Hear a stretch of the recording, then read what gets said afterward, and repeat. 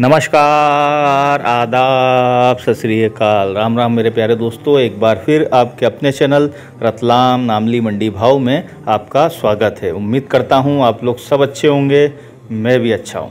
दोस्तों, आज उनतीस अक्टूबर 2023 और दिन रविवार और समय हुआ है शाम पाँच बजे का। जी हाँ दोस्तों, शाम पाँच बजे का, और हम पहुँचे हैं रतलाम प्याज मंडी में, सीधे नज़ारा आप पीछे का देख रहे हैं। जी हाँ दोस्तों, देख लीजिए आप, पूरा नज़ारा, अच्छी खासी आवक जो है वो रतलाम मंडी में हो चुकी है। जी हाँ दोस्तों 300 के करीब वाहन आप मान के चल सकते हैं रतलाम प्याज मंडी में। जी हाँ दोस्तों 300 के करीब वाहन जो है वो रतलाम प्याज मंडी में हो चुके हैं लगभग लगभग और लगातार वाहन जो हैं काफ़ी स्पीड से, काफ़ी तेज़ी से जो है वो रतलाम में आ रहे हैं। जी हाँ दोस्तों तो जब हमने यहाँ का पीछे का वीडियो बनाया, उसके बाद जैसे ही हम बाहर निकलने लगे तो उसके बाद गेट के वहाँ पहले ही हम वापस रुक गए, क्योंकि इतनी स्पीड से वाहन आ रहे थे तो हमने सोचा कि वो वीडियो भी आपको डाल देंगे कि इतनी स्पीड से जो है वो वाहन रतलाम प्याज मंडी में आ रहे हैं। अभी जैसा कि आपने देखा, ये पूरा नज़ारा जो है, पीछे का नज़ारा है, सीधे वाहन पीछे ही लग रहे हैं दोस्तों।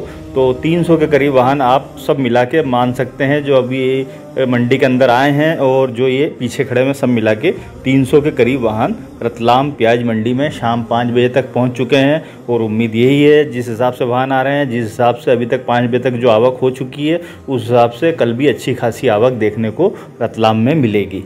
तो आप ये मान के चलिए कि अच्छी खासी आवक रतलाम प्याज मंडी में कल सुबह हमें देखने को मिलेगी। अभी 300 के करीब वाहन आप मान के चल सकते हैं। ये तो हो गई दोस्तों वाहन की जानकारी। अब आपको एक जानकारी और महत्वपूर्ण देनी थी कि जो कल सरकार ने टैक्स लगाया है। जी हाँ दोस्तों, सड़सठ रुपये के से कम पे अब निर्यात नहीं होगा, उसका भी हमने आपको वीडियो डाल दिया था।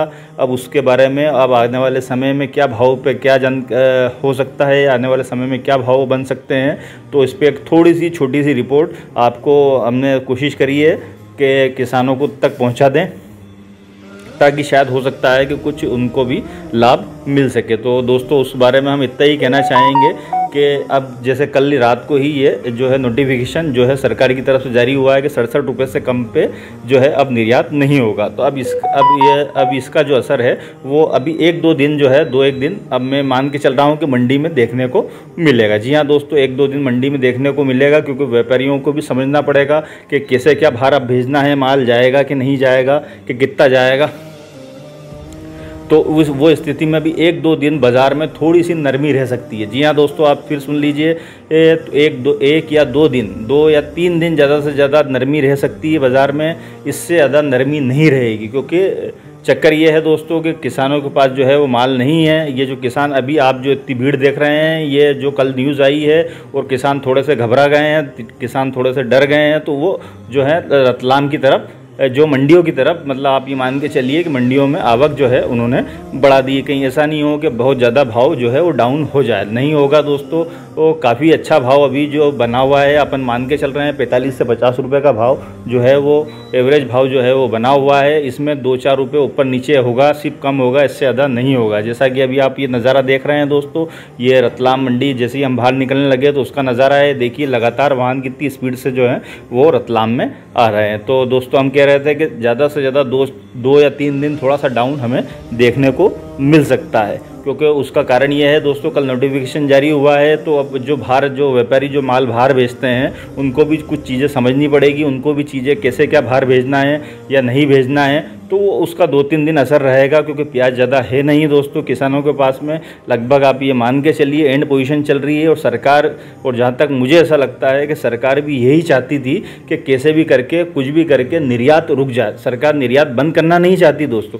सरकार ये चाहती है कि कुछ दिनों के लिए निर्यात रुक जाए। उन्होंने इसलिए ये कदम जो है, मुझे ऐसा लगता है कि उन्होंने उठाया, ताकि उनको सरकार को भी पता है कि 10 से 15 दिन बाद 20 दिन बाद नई प्याज की आवक जो है, वो मंडियों में आ जाएगी तो फिर कोई इतनी दिक्कत नहीं रहेगी। तो सरकार ये चाहती है कि अभी दो पाँच, दस दिन जो है, वो कैसे भी करके निर्यात पर, निर्यात जो है, वो रुक जाए, ताकि जो है, यहाँ इंडिया के अंदर जो, भारत के अंदर जो है, वो पर्याप्त मात्रा में प्याज बनी रहे और इससे ज़्यादा जो है, वो भाव नहीं जा पाए। तो वो इसलिए ये कदम उठाया है दोस्तों। उन्होंने पूरी तरीके से बैंड नहीं करा है।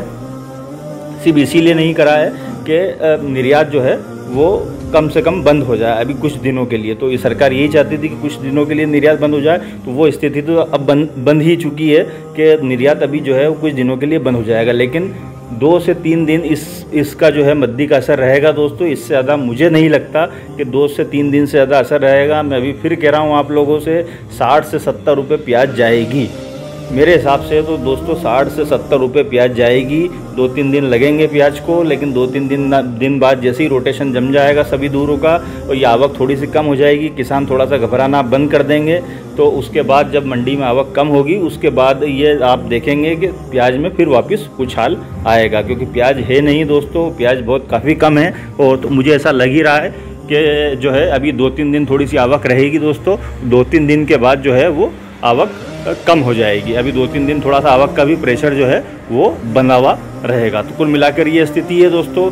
मुझे ऐसा लगा जैसा कि आपको पूरी जानकारी देना चाहिए। कुछ यूट्यूब चैनल जो हैं, वो गलत जानकारी भी दे रहे हैं, भ्रमित कर रहे हैं कि अब भाव जो है, वो डाउन हो जाएँगे पूरी तरीके से। ऐसा कुछ नहीं होने वाला। आप किसी भी यूट्यूब के चैनल के चक्कर में मत पड़िए दोस्तों, क्योंकि भाव डाउन नहीं होने हैं। दो चार रुपये जो हैं, वो अभी दो या तीन दिन की मद्दी हो सकती है। इसके बाद आप देखेंगे कि भाव, प्याज के भाव में वापस उछाल आएगा। जैसे ही आवक थोड़ी सी लिमिट होगी तो वापस हमें उछाल देखने को पड़ेगा और मुझे पूरी उम्मीद है दोस्तों कि साठ से 70 रुपए के बीच में जो है ये भाव बना रहेगा।